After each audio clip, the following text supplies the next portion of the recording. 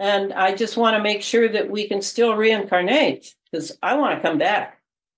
I want to come back a thousand times until this is done. Well, it is our mission. And he feels, I feel it in my DNA.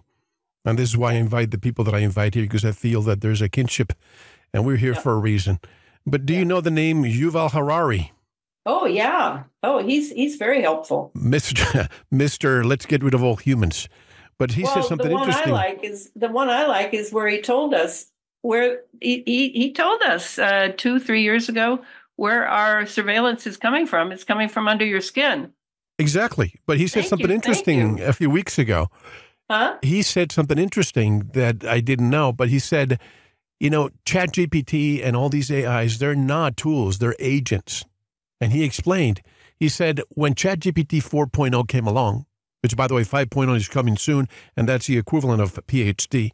But 4.0, they wanted to do a test on how to go to certain websites.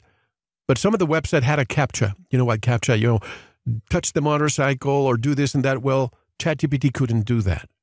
But he learned, what if I go to TaskRabbit, which is a company that does a lot of tasks for you?